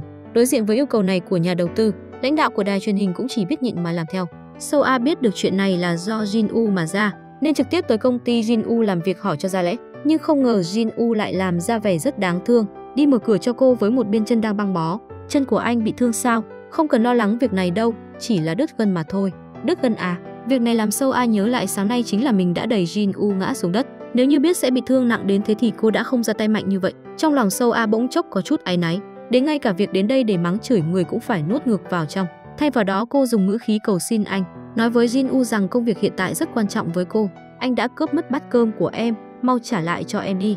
Anh vội vàng đuổi theo và ngăn cô lại. Trước cửa anh nói nếu cô thực sự muốn quay lại cũng không phải là không thể. Chỉ cần đồng ý quay lại với anh một tháng, anh sẽ cho cô phục chức. Sâu A thấy đây là một yêu cầu quá vô lý. Cô lường anh một cái rồi quay người bước đi. Không quay lại được với cô Jin U lại tiếp tục bám víu Sâu A không rời. Anh đến tìm Sâu A cùng mình đi ăn cơm. Lần này hai người không chọn nhà hàng xa xỉ, mà cô đưa anh đến một quán ăn ven đường ăn chân gà. Jin U từ bé đã sống trong nhung lụa, trước nay chưa từng cảm nhận được cảm giác mới lạ này. Anh nhìn Sâu A đã từng là một người nho nhã, hiện tại lại không quan tâm đến hình tượng mà cắn mút chân gà, khiến cho anh có cảm giác như quen lại từ đầu. Lúc hai người đang ăn hang say, người đàn ông bàn bên bỗng nhiên nhận ra Sâu A, nhưng đây không phải fan của cô mà là một tên say rượu. Hắn cố ý phóng đại vụ bê bối của cô. Năm đó bỏ lại người chồng bất tỉnh mà chạy mất, kết hôn là bởi vì tiền. Nếu cô không để bụng có thể cùng nhau chụp một tấm ảnh được không? Sau khi uống rượu thì tìm người gây sự, những lời nhục mạ như vậy khiến Jin U rất không thoải mái. Còn có người quá đáng hơn là đã chụp ảnh lại và chuẩn bị đăng lên mạng xã hội. Jin U tức giận lập tức đứng dậy đi sang cướp lấy điện thoại ngang ngược mở máy ra và nói với họ, đây chính là người chồng trong lời đồn của các người. Vì sự bảo vệ ấm áp này đã khiến Sâu A rất cảm động, nhưng nhìn thấy chân của anh đi lại bình thường, cô đã biết mình lại bị anh lừa. Tôi đúng là quá ngốc rồi, bị anh lừa không biết bao nhiêu lần rồi mà bây giờ vẫn bị lừa. Đợi chút nghe anh nói, bởi vì trước đây cô trợ lý là người đã làm khuấy đảo tình cảm giữa Jin U và Sâu A. Hơn nữa lúc học đại học cô còn suýt nữa giết chết người em gái tự tử của Sâu A. Qua sự từng trải của mẹ cô, bà vẫn đến tìm bạn trai mới của cô tên là Tê Răng. Bà nói rõ mình phản đối hai người họ ở bên nhau. Anh hiểu được nỗi nhọc lòng của mẹ Sâu A, anh đồng ý chia tay với Sâu A và không dây dưa với cô nữa. Tình cảm mới hình thành mà chớp mắt đã bị sụp đổ. Sâu A nhất thời không chấp nhận được sự thật đối với gia đình và tình cảm. Cô không có cách nào lựa chọn được, cảm giác bị áp bức như bóp nghẹt cô. Ngay lập tức lúc cô đau lòng rơi nước mắt, Jin U đã xuất hiện bên cạnh cô. Anh hỏi cô tại sao lại khóc. Bởi vì tên đàn ông đó sao? Anh nói rồi em đừng có khóc. Anh biết rồi khóc đi khóc cho thỏa nỗi lòng đi. Anh đau xót ôm cô vào lòng, dù biết rằng cô đang rơi nước mắt vì người đàn ông khác nhưng vẫn ôm chặt cô không buông. Người mẹ độc ác vì muốn con trai mình tái hôn nên đã nói với bố của Sâu A chuyện mê bối không có ai biết trước đây của anh. Đã khiến người bố luôn ủng hộ rất tức giận và suýt chút nữa ngất ngay tại chỗ. Đến khi Jin U vội vàng đi đến thì đã không kịp, bố đã dùng hết sức tát anh một cái. Cậu lại dám làm ra chuyện như vậy, cậu vì thế nên mới cưới con gái tôi sao? Ông còn tự trách mình đã nhìn nhầm người. Từ giờ đừng bao giờ đến cầu xin tôi nữa. Hóa ra hôm đó muốn đem thêm đồ ăn đến cho con gái đang làm việc vất vả. Ông mang theo đồ ăn chính tay mình tự làm đến đài truyền hình thăm cô, nhưng nhân viên lại không cho ông vào. Hơn nữa còn nói với ông, Sâu A không có ở đây. Bởi vì quan hệ của chồng cô nên đài truyền hình đã dừng công việc của cô. Vừa nghe được những lời này ông rất tức giận. Ông không hiểu con gái của ông rất cố gắng, nhưng Gin U không những không giúp mà còn hủy hoại cô. Mang theo sự nghi ngờ, ông đã đến công ty của thông gia để hỏi cho rõ. Nhưng người tiếp đón ông lại chính là mẹ của Jin U, người đàn bà độc ác đã nói cho thông gia trước đây của mình rằng việc điều con gái của ông đi chính là ý kiến của Jin U. Đừng bao giờ hy vọng Sâu A có thể quay lại nhà hào môn. Bây giờ con dâu mới ở bên Jin U đã lâu, trước cả khi hai người họ ly hôn. Ông cảm thấy mình đang bị sỉ nhục một cách nghiêm trọng. Lúc này Jin U biết ông tìm liền vội vàng chạy tới nhưng đã muộn rồi. Ông thất vọng rời đi. Jin U đang muốn đuổi theo giải thích, bà mẹ ở phía sau liền kéo anh lại không cho đi. Anh tức giận quay người lại hất tay bà mẹ ra anh to tiếng chất vấn bà. Có phải bây giờ chuyện như thế này bà rất hài lòng phải không? Bởi vì sự đau khổ trước đây của Sâu A, Jin U mang theo khuôn mặt không biết chút giận vào đâu mà đi tìm Tê Răng. Không nói lời nào liền bắt đầu cuộc đối đầu giữa hai người đàn ông. Cô gái của anh, anh quyết không cho ai được phép làm cô tổn thương. Hôm đó Sâu A sau khi tan làm, nhìn lên cửa công ty có ký hiệu kỳ lạ. Cô bèn đi theo nó, một thân ảnh quen thuộc đang đứng ở phía trước đợi cô. Nhìn thấy Sâu A Jin U rất vui đã tạo cho cô một màn tuyết giả lãng mạn. Việc làm ấu trĩ như trẻ con chưa lớn vậy. Nhìn thấy cô ăn mặc phong phanh anh liền cởi áo khoác mình ra khoác lên người cho cô.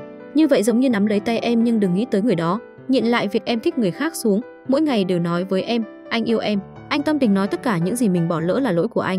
Chỉ cần biết anh sẽ yêu em theo cách mà anh muốn và anh hỏi cô đã từng nghĩ qua chưa. Bây giờ anh muốn đổi một cách khác để yêu em. Cho dù có xảy ra chuyện gì cũng sẽ luôn ở cạnh cô mãi mãi không rời. Lời tỏ tình đã khiến Sâu A hoàn toàn rung động, nội tâm bình tĩnh đã bắt đầu loạn nhịp. Jin U vui mừng như một đứa trẻ lập tức lấy ra chiếc nhẫn hoa quả đã chuẩn bị trước, đeo cho Sâu A, người luôn kiêu ngạo như anh lại cũng có lúc đáng yêu, khiến người ta không thể ghét được nữa rồi. Sau này anh nhất định sẽ đeo cho em chiếc nhẫn kim cương to như thế này. Từ lúc có được cơ hội, Jin U vui đến nỗi không khống chế được niềm vui đó. Đến nhà rồi mà vẫn chìm đắm trong sự hạnh phúc. Hơn nữa anh còn nói vợ mẹ rằng mình và Sâu A đã hòa hợp rồi. Nếu như mẹ vẫn giữ thái độ phản đối, vậy chỉ đành buông bỏ trước việc anh đã tìm được tình yêu đích thực rồi. Mẹ không thắng được con đâu, con cũng không thắng nổi Sâu A, vậy thì chúng ta đành chấp nhận thôi, con đi đây. Người mẹ tức giận gục ngã xuống sàn, muốn con trai thương xót mình. Biết không thể công kích con trai nữa bà mẹ liền tìm đến sự giúp đỡ của cô trợ lý. Cô chỉ đưa ra được những ý kiến tệ. Cô nói nếu như Jin U không muốn chia tay thì ép anh giao quyền điều hành tài chính. Nhưng chức chủ tịch, không ngờ rằng bà mẹ cũng đồng ý với cách này. Bà hỏi cô trợ lý có thật sự cam tâm cả đời này chỉ làm trợ lý không? Thế thì sẽ không gây ra các bê bối và lên hot search. Xem ra hai người họ lại sắp làm chuyện xấu xa rồi. Jin U cầm lấy chiếc nhẫn trị giá 1 tỷ chỉ vì muốn đổi lại cuộc hôn nhân cũ của mình. Bà mẹ chồng cây mắt khi biết tin Sâu A lại bắt đầu cuộc sống xa hoa vô độ. Bà ta không nói nhiều đã chạy đến tìm Sâu A hỏi cho ra lẽ. Đâu rồi cái nhẫn kim cương tặng cô đâu? Nhưng Sâu A đâu biết chuyện cái nhẫn này. Cô trực tiếp móc cái nhẫn làm bằng kẹo hoa quả từ trong túi sách ra. Bà mẹ chồng độc ác vừa thấy đã trố cả mắt. Cái thứ ấu trĩ này là cái gì vậy? Cô đang đùa tôi đấy à? Một người thành thục như con trai bà ta sao có thể đi tặng cái thứ ấu trĩ như vậy được? Bà ta giữ Sâu A lại nói rằng nhất định là cô đã giấu chiếc nhẫn tiền tỷ đó đi rồi. Thấy mẹ chồng không chịu tin Sâu A chỉ đành nói, bà ta tự đi tìm con trai bà mà hỏi. Sau đó hai người quay về nhà. Nhìn thấy Sâu A đột nhiên đến khiến Jin U rất vui. Anh không cả thèm nhìn mẹ của mình mà đẩy thẳng bà ta sang một bên. Anh ta hỏi sao hôm nay Sâu A lại có thời gian đến đây vậy. Sâu A không hề hòa khí nói hết mọi chuyện ra. Bà mẹ chồng khi nghe xong không thể tin nổi, trực tiếp ném quà của Sâu A xuống bàn rồi nói với giọng khinh rẻ. Sao có thể tặng một món quà đắt tiền cho loại phụ nữ như cô ta chứ? Cho dù là đeo cho chó thì cũng không thể cho cô ta đeo được. Cô ấy cũng không định lấy. Những lời cay nghiệt như thế này Sâu A đã nghe quen rồi. Để chọc giận mẹ chồng mà Sâu A bảo Jin U đi ăn tối để mặc bà mẹ xít tăng sông mà ngất đi. Hai người đắm chìm trong không khí bữa tối lãng mạn rượu quá tam tầm. Sâu A liền truy vấn Jin U, tại sao ban đầu anh ta lại trúng tiếng xét ái tình với cô. Anh ta nói với cô rằng lần đầu tiên thấy cô trong phòng gym rồi lại nhìn thấy nụ cười ấm áp của cô trên TV. Jin U đã yêu cô mất rồi, nhưng từ sau khi kết hôn thì tình cảm lại từ từ nhạt đi. Nụ cười của em cũng không còn nữa, tôi tưởng chỉ cần tôi cho em đầy đủ mọi thứ thì em sẽ vui vẻ giống như trước đây. Cũng không biết bắt đầu từ khi nào mà chúng ta đã thay đổi. Nghe xong những lời này, Sâu A liền xin lỗi. Jin U lúc này run run cũng nghĩ ra một ý nghĩ táo bạo. Thế tôi muốn thực sự là muốn cùng em ngủ. Anh điên à? Yêu cầu hoang đường đó đã khiến hai người rời vào cảnh khó xử. Sau đó suốt cả đường đi Sâu A và Jin U đều cố gắng bình ổn cảm xúc cho nhau. Vốn tưởng là sau khi Jin U đưa cô đến nhà thì sẽ đi luôn không ngờ lại theo cô vào tận trong nhà anh, quỳ thẳng xuống đất trước mặt bố vợ. Bố vợ còn chưa hết giận muốn cầm cây gậy đuổi anh ta đi. Sâu A thấy vậy vội vàng lôi anh ta ra ngoài. Jin U không hề nản chí thấy cổng bị khóa, anh ta bèn trèo tường vào rồi kiên trì quỳ ở phòng khách. Anh đúng là, cho dù có bị đánh chết thì con cũng đồng ý, xin mọi người hãy tha thứ cho con. Còn nói nếu bố mẹ vợ không chịu tha thứ cho mình thì sẽ không đứng lên. Bố vợ nghe xong bèn bảo anh cứ quỳ ở đây cho đến chết đi. Bởi vì Jin U vẫn chưa chịu quay về nên bà mẹ tức giận cho rằng anh ta đang ở bên cạnh Sâu A, thế là bà bèn gọi điện thoại cho tài xế. Lúc này mới biết hai người đang ở nhà Sâu A. Bà ta vừa chạy đến nơi thì thấy con trai mình đang quỳ dưới đất, máu dồn lên não thế là bà ta bắt đầu tức giận chất vấn. Rốt cuộc nhà Sâu A muốn bao nhiêu tiền thì mới buông tha cho Jin U. Mẹ của Sâu A thấy nhà thông gia cũng có thái độ này cũng không nhịn nữa. Cậu thật sự thích con gái tôi à? Không, con yêu cô ấy. Thế thì hai đứa nên ở với nhau. Jin U nghe xong vui mừng quỳ xuống dập đầu. Con cảm ơn, chúng con đi trước nhé. Tạm biệt bố mẹ vợ. Đi nhanh, bỏ con ra đi mẹ. Ai là mẹ chồng của cô? Không ngờ bà mẹ chồng này lại dám ra tay đánh vợ cũ của con trai. Con trai về nhà thấy vậy chỉ quan tâm vợ mình có bị thương hay không, mà bà mẹ lúc này ở bên cạnh thì bắt đầu ghen tị. Hóa ra là vào mấy ngày trước mẹ anh ta đã làm náo loạn hết mọi chuyện khiến anh ta không chỉ thấy bực mà còn khiến anh ta phải thu dọn hành lý đến nhà vợ ở. Dưới sự hối lỗi và cầu xin chân thành cuối cùng bố vợ cũng miễn cưỡng cho anh ta ở tạm một đêm. Sáng mai phải đi ngay lập tức, mặc dù chỉ nằm ở ghế sofa trước cửa phòng của Sâu A, nhưng cũng đủ để khiến anh ta vui vẻ. Bởi vì đây là lần đầu Jin U đến đây ăn cơm cho nên mẹ đã dậy sớm chuẩn bị một bàn thức ăn ngon. Trong lúc dùng cơm Sâu A hỏi anh ta khi nào thì đi. Jin U nói anh muốn chơi cờ cùng bố vợ. Nếu như bố vợ thua thì phải đồng ý với anh ta một chuyện. Ông bố không hề nghe ra ý thích tướng bên trong ngay lập tức đồng ý và nói rằng anh ta sẽ không thể thắng được đâu. Tuy nhiên ngay sau đó ông đã bị vả mặt, bị Jin U đánh cho không có đường lui. Ông bố thua xong nói một cách hàn học. Cậu muốn tôi đồng ý với cậu cái gì? Con muốn ở đây thêm mấy ngày. Mặc dù bố rất là không tình nguyện nhưng lỡ thua rồi đành miễn cưỡng đồng ý thôi. Chuyện này khiến mẹ Sâu A rất không thoải mái. Qua mấy ngày đã dục Sâu A giúp anh ta sắp xếp hành lý đưa về nơi thuộc về anh ta. Nhưng khi Sâu A đến nhà thì lại thấy cô thư ký đi ra với dáng vẻ như nữ chủ nhân căn nhà. Đã thế còn ngủ trên của mình từng nằm, đồ dùng cá nhân cũng để khắp phòng. Sâu A rất tức giận trực tiếp xông ra ngoài tìm trợ lý chất vấn cô. Có phải cô quá tùy tiện rồi không? Cô cho rằng làm như vậy sẽ có được trái tim của Jin U sao? Dùng lại đồ dùng của người ta mà hưởng thụ quá nhỉ? Sâu A càng nói càng tức, trực tiếp nắm lấy áo trong tay của trợ lý mà lấy hành lý ra. Cô tuyệt đối không để cho Jin U về nhà nữa. Lúc này bà mẹ độc ác bỗng nhiên xuất hiện, nhìn thấy Sâu A xách hành lý của con trai mình bà lại hậm hực kêu Sâu A lập tức đưa Jin U về. Sâu A nói muốn Jin U quay về thì trước tiên phải kêu cô trợ lý rời khỏi đây. Bà mẹ sao có thể nghe theo Sâu A được? Bà nói tôi muốn ai ở thì cô cũng không quản được. Sâu A nhìn thấy không nói nổi nữa, cô tức giận chuẩn bị rời đi. Nhưng bà mẹ vẫn không bỏ qua liền nắm lấy tóc của cô kéo cô lại. Lúc này đúng lúc Jin U về tới nhìn thấy cảnh hỗn loạn này, anh không hỏi mẹ mình có bị sao không mà trực tiếp đi đến chỗ của Sâu A hỏi cô có chịu uất ức gì không. Jin U trong mắt con không có mẹ nữa sao? Tên trời đánh nhà anh không phải mẹ là người bị ngã sao? Sâu A không muốn ở đây nhìn bà mẹ và cô trợ lý thêm một phút nào nữa. Cô trực tiếp nói với Jin U là chúng ta hãy về nhà cô. Nghe được từ chúng ta, Jin U vui mừng nhanh chóng đi theo cô. Sau khi về đến nhà của Sâu A, Jin U liền bắt đầu một cuộc sống gia đình hạnh phúc với Sâu A. Hàng ngày làm việc nhà, còn giúp mẹ vợ chuẩn bị tỏi để nấu ăn. Cho dù nhận được chút hành mà anh đã chảy nước mắt ròng ròng, nhưng anh vẫn rất vui vì có thể giúp gia đình được một phần. Chàng thiếu gia nhà giàu này bị mất bố từ bé nhưng anh lại cảm nhận được tình yêu bố con trước nay chưa từng có từ bố vợ mình. Hai người hẹn nhau đi tiệm gội đầu nhưng không ngờ lại là tiệm cắt tóc cho người cao tuổi. Bố vợ giúp anh gội đầu còn giúp anh cắt một kiểu tóc rất ngây ngô. Sâu A nhìn thấy thế cho rằng bố mình đang muốn cố ý chỉnh đốn anh. Jin U lại cảm thấy cho dù là kiểu tóc hay là bố thì anh cũng vô cùng hài lòng. Trong thời gian ở nhà của Sâu A anh cảm thấy mình sống vô cùng hạnh phúc. Chỉ có điều Sâu A vẫn lo lắng không biết đến khi nào anh mới hòa hợp lại với mẹ. Với lại tình hình còn đang ngại ngùng như thế này dù gì anh cũng là con trai duy nhất trong nhà. Từ bé anh vẫn luôn cùng mẹ nương tựa vào nhau mà sống. Cô nói với Jin U chuyện sai lầm lớn nhất cả đời của mình chính là năm đó vì kết hôn mà đã đoạn tuyệt quan hệ với người nhà. Cho dù sau này có xảy ra chuyện gì, xin Jin U đừng bỏ rơi người nhà luôn yêu thương mình nhất. Bên này hai người đang nói ra những nỗi lòng của mình mà không biết bà mẹ chồng thích làm chuyện xấu đã tìm đến nhà của Sâu A. Con trai tôi là một con cún con không biết nghe lời. Con gái bà là một con bê con cố chấp. Bà ta dương dương tự đắc nói với mẹ Soa, con trai của bà đồng ý sống ở nơi như thế này hoàn toàn là vì cảm giác mới mẻ. Đến khi Jin U chán rồi xem anh còn để ý tới họ không, mẹ của Soa không phải là người dễ chọc vào. Bà mỉm cười nói hóa ra là muốn trải nghiệm cuộc sống chẳng trách ngày nào cũng tranh giúp mình làm việc nhà, dù có mệt như thế nào cũng rất vui vẻ. Nghe được những lời này bà mẹ chồng không dám tin con trai mình có thể làm những việc như vậy. Vì để lật ngược tình thế bà ta nói với mẹ Soa, cô gái đã từng làm tan vỡ hôn nhân của họ đã được bà đón đến ở nhà họ. Bây giờ đang ở trong phòng của Jin U, đến khi bà ta bị mẹ của Sâu A đuổi đi, bà vẫn bực tức khó hiểu. Bà tức giận đem đồ của Jin U ném hết xuống đất đến khi anh quay về nhìn thấy đồ bừa bãi rơi đầy sàn, mẹ của Sâu A còn ra lệnh đuổi khách. Bà nói cậu có biết cô gái hiện tại đang ngủ ở nhà cậu không những làm tổn thương con gái tôi mà còn khiến hai người ly hôn. Còn ức hiếp con gái út của tôi lúc còn học đại học suýt nữa dẫn đến việc còn trẻ mà đã lìa xa cõi đời này.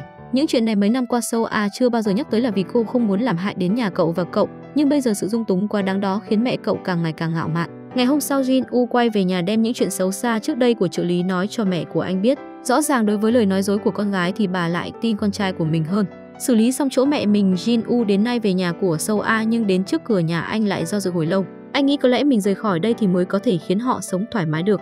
Cảm giác âm cúng mấy ngày qua đã khiến Jin U hòa nhập vào gia đình này mất rồi. Anh mua đồ nhắm để nhậu với bố vợ một bữa, nhân bữa nhậu này thành thật xin lỗi họ, xin họ tha thứ cho những tổn thương mà mình và gia đình mình đã gây ra cho họ. Còn với Sâu A là người anh không nữa nhất, một đêm khó ngủ anh chỉ đành ngồi trong phòng khách, nhìn thấy người vợ mà mình yêu sâu đậm anh nói với Sâu A, "Vợ à, cảm ơn em đã cho phép anh yêu em lần nữa. Mỗi ngày có thể nhìn thấy em chính là chuyện vui nhất của anh." Lời bày tỏ bất ngờ này làm Sâu A nhất thời không biết gì, đi làm trong vội vàng xấu hổ. Đợi đến khi cả nhà đi hết rồi, Jin U kéo vali lưu luyến nhìn căn nhà ấm áp không muốn rời đi này. Hành động bất thường của chồng khiến Sâu A rất nghi ngờ. Lúc cô vội vã quay về nhà nhìn thấy hành lý và Jin U đều đã chuyển đi, sự ra đi đột ngột của anh khiến cô rất khó chịu, còn bà mẹ đã nhìn rõ bộ mặt thật của trợ lý, cũng cảm thấy cô ta không có giá trị lợi dụng. Bà thông báo cho cô kêu cô lập tức chuyển ra khỏi nhà này. Cô trợ lý tưởng rằng mình giả vờ đáng thương sẽ được bà mẹ đồng cảm và lại thấy cô đáng thương lần nữa. Đúng là gừng càng già càng cay, dù cho cô có quỷ một loại van xin thì bà mẹ cũng không cho cô cơ hội lừa dối mình lần nào nữa. Bên này Jin U mới dọn đi đã lập tức thông báo cho cô trợ lý là cô đã bị sa thải. Bị công kích từ hai phía như vậy cô ta căn bản không chấp nhận nổi. Cô chất vấn Jin U tại sao anh lại tuyệt tình với cô như vậy. Jin U không chút nhẫn nại nói với cô những ký ức mà đã từng có với cô đều là những chuyện đời này anh không muốn nhắc đến. Cô đã có được sự bồi thường nên có rồi, cũng không nên dây dưa mãi không thôi. Đối với anh em không được coi là người sao. Chàng trai nhà giàu nhìn thấy vợ cũ cùng với Tê Giang đi với nhau thì trong lòng rất khó chịu. Sau khi về nhà anh bắt đầu bóc tỏi. Này trải nghiệm cuộc sống làm người nghèo của con kết thúc rồi. Con tưởng nhà này vẫn là ngôi nhà rách nát đó sao? Dừng tay lại cho mẹ. Dì giúp việc không có hành tây, có cái sẽ bị dài. Họ lại không biết rằng Jin U bóc tỏi là cái cớ để anh rơi nước mắt, đúng thật là si tình. Siu cứ nhớ lại việc Sâu A và tình địch ở bên nhau thì điên cuồng ghen tuông. Tôi không có được cô ấy thì anh cũng không được ở cùng cô ấy. Vì thế hai người đàn ông điên cuồng uống rượu cuối cùng vẫn là Jin U quá đau lòng mà uống say mất. Thực ra Tê Giang biết rằng Sâu A sớm đã có tình cảm với Jin U chẳng qua anh ngu ngốc mà không biết. Sâu A nhìn Jin U uống say mà không biết phải làm sao. Tê Giang rất biết điều mà đi ra cho họ không gian riêng. Sâu A à, làm bạn gái anh đi cầu xin em hãy sống cùng anh đi. Vợ à, cô vẫn đau lòng lấy áo đắp lên cho anh. Không ngờ chồng cũ tình cảm lại sâu đậm như vậy. Ngày hôm sau Jin U nói với cô, anh phải đi xa anh muốn quên đi nơi đây. Chúc Sâu A tìm được một người đàn ông tốt. Nghe được những lời này trong lòng Sâu A đau nhói, vốn cho rằng mình sẽ không có tình cảm mà lúc này trong lòng lại đau đớn. 10 năm rồi mới có tình cảm với chồng cũ còn đang do dự không biết có nên níu kéo không thì. Em phải hạnh phúc, vợ à. Jin U rời đi nhưng thực ra trong lòng lại chờ đợi Sâu A gọi mình lại. Anh Jin U anh không đi có được không? Em nói lại một lần nữa đi. Anh không đi không được sao? Cứ như vậy hai người buông bỏ quá khứ tiếp tục sống cùng nhau chấp nhận nhau một lần nữa. Tê Giang mở một cửa hàng ở nơi yên tĩnh nghe được đoạn đối thoại của hai người họ. Jin U mới biết Sâu A sớm đã có tình cảm với mình vì để tránh sự ngại ngùng anh giả vờ như mới tới chúc mừng Tê Giang. Không ngờ rằng cuối cùng với tình địch trở thành bạn tốt. Sâu A nhìn thấy họ như vậy trên mặt cũng ngập tràn niềm vui. Sau khi đi ra Sâu A nói khi về làm sao đối diện với mẹ chồng đây. Jin U nói rằng chỉ cần tạo ra một bé Jin U thì tất cả sẽ êm đẹp thôi. Nhìn thấy họ rất căng thẳng, nhưng bà mẹ vẫn tức giận hầm hực. Nhưng lần này Sâu A đã chuẩn bị rất tốt cho dù có xảy ra chuyện gì cũng sẽ không đi ra ngoài. Những lời nói ra đều khiến cho đối phương cảm động. Chúng ta bắt đầu lại mẹ nhé, con thật sự yêu anh ấy, con sẽ khiến con trai mẹ hạnh phúc cũng sẽ hiếu thảo chăm sóc mẹ. Bà mẹ nhìn thấy cô con dâu rất chân thành cũng đã nhẹ nhõm cả người. Chỉ cần con trai thích thì đều không sao cả. Lúc này Jin U nhìn thấy sự hòa hợp của họ, anh rất vui mừng, cuối cùng cũng theo đuổi thành công vợ cũ. Cô trợ lý xấu xa đang kéo hành lý về ngôi nhà mà cô đã từng ghét bỏ. May là anh trai vẫn luôn chờ cô. Nhìn hình bóng của Sâu A, Jin U sớm đã không nhận được nữa cuối cùng đợi 10 năm hai người họ mới nằm chung một chiếc giường. Anh yêu em, em cũng yêu anh. Được rồi, bộ phim đến đây là kết thúc. Các bạn bỏ ra 3 giây đăng ký kênh để ủng hộ chúng mình nha. Cảm ơn các bạn đã đón xem kênh của chúng mình. Hẹn gặp lại mọi người trong bộ phim tiếp theo. Tập hôm nay đến đây là hết mất rồi. Cảm ơn các bạn đã theo dõi. Còn giờ thì xin chào và hẹn gặp lại.